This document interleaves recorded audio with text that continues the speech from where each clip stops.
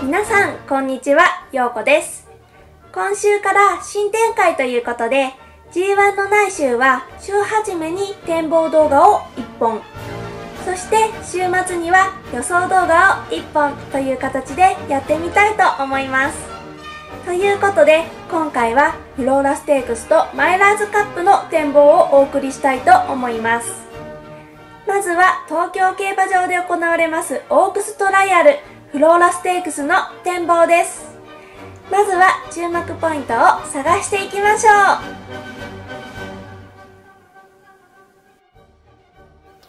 まずはコースの特徴というよりも注意点をご紹介いたします。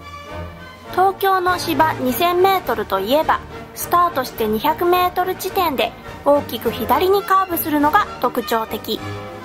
ですので外枠が不利というセオリーがありますけれど実際に本当なのかを調べてみました。こちらが過去1年間における東京芝 2000m における枠順別の成績です。確かに7枠が厳しい成績ですけれど意外と8枠は5枠よりも良かったりします。そしてこちらが過去5年間におけるオープンクラスと重賞での枠順別の成績です。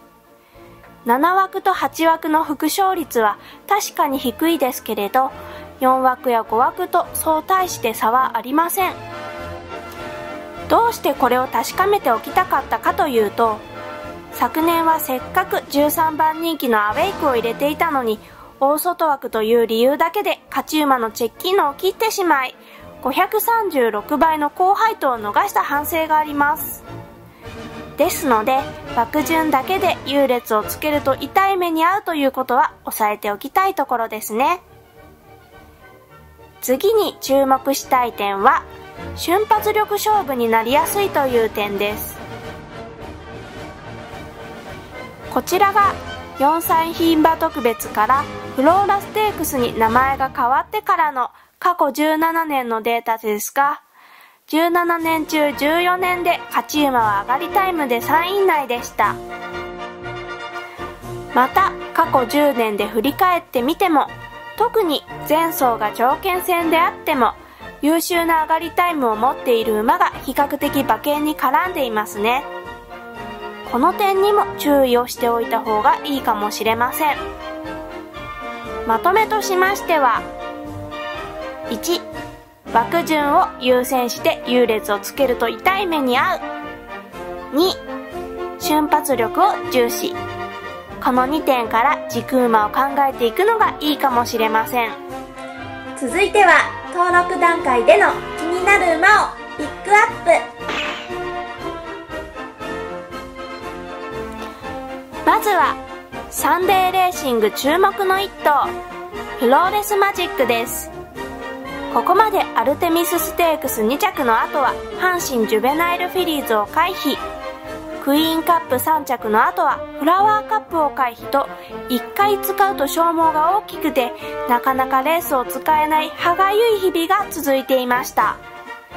そして3月末にミホトレ戦に帰ってきましたが大事に使っている分今回はフレッシュな状態で出走できそう。だ反対に元気が良すぎてテンションの高さが気になるそうで当日テンションが高すぎると割引が必要かもしれません。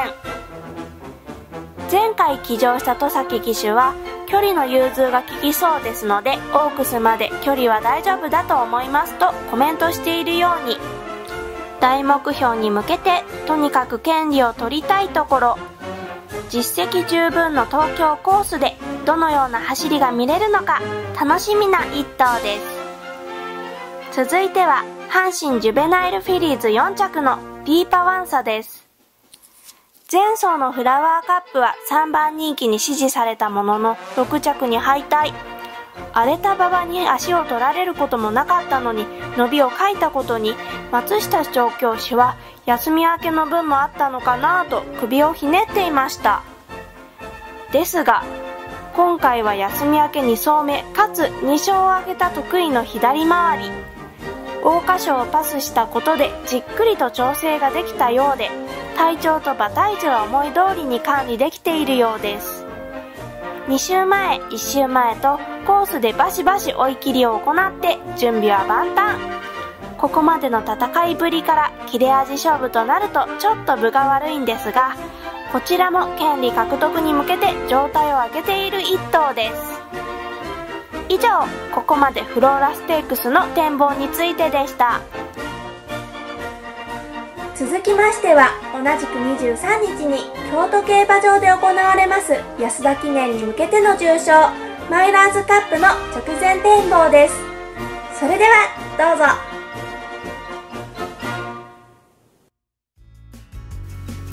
まずはコースの特徴ですがこのレースでは外回りコースを使うので3コーナーからの長い下り坂があるためにスピードをつけた上でコーナリングをしなくてはいけないというということでコーナーを内から上手に立ち回れる馬が有利とされています。こちらが外回りマイルでのオープン重賞における過去10年の枠順別の成績ですがこのデータだと枠によってそこまで大差がありません。ところがここにあるフィルターをかけると驚きのデータになります。こちらが過去10年における開幕週。つまり1回開催から5回開催の初日における枠順別データです。はっきりと内側の枠が有利なのが分かりますね。そしてこちらが重賞やオープンクラスに絞ったデータです。こちらも断然内側が有利。ということでフローラステークスとは逆のことを言ってしまいますが去年のクラレントや一昨年のサイレンスメジャーなど内枠で先行する人気薄の馬には要注意かもしれません。そしてご存知の通り京都といえばディープインパクト3区5年前に京都開催に変わりましたが過去5年で7頭ものディープインパクト3区が馬券に絡んでいます。フィエロプロディガルさんを応援する方にとってはいいデータです。安田記念までまだ時間があるうちの前哨戦ですから過去5年では一番人気が一つも勝てていないこのレース。こういった条件から皆さんのお眼鏡にかなった穴馬を探して軸にするのもいいかもしれませんね。続いては登録段階での気になる馬をピックアップ。まずは去年のマイルチャンピオンシップ2着のイスラボニータです。レースは昨年の阪神カップ以来で今年初戦となりますが去年の安田記念から秋にかけて回復に時間がかかったことを踏まえて今回も時間をかけて調整をしてきており2月の上旬から美穂トレ戦で調整を続けています。毎週ウッドチップコースで少しずつ負荷をかけながら乗り込まれておりいかにも順調という感じ。1週前の追い切りも10オープンの馬に遅れはしましたが思惑通りの負荷をかけられたようです。栗田調教師も今年は大きなレースを勝ちたいと去年の今頃とは全く違うコメントで気持ちが伝わってきます。安田記念が大目標で余裕を残した仕上がりですが初戦から動けそうな気もする。注目しておきたい一頭です。そして東京新聞杯を勝って念願の重賞初勝利を挙げたブラックスピネルです。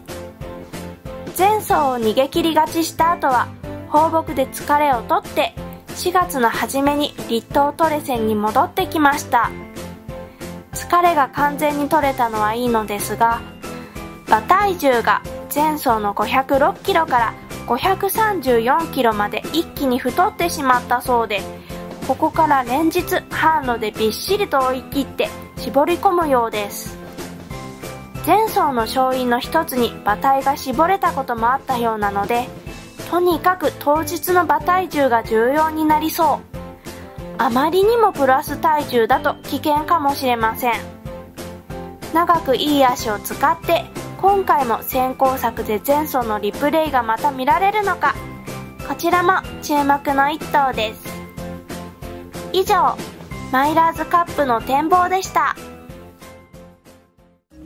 ということで週末の福島牝馬ステークスはお休みしますけれどフローラステークスとマイラーズカップの予想をまとめて1本の動画でやってみたいと思います。それでは週末に向けて皆様の運気が上がりますように。チャンネル登録やコメントで応援をしていただけると嬉しいです。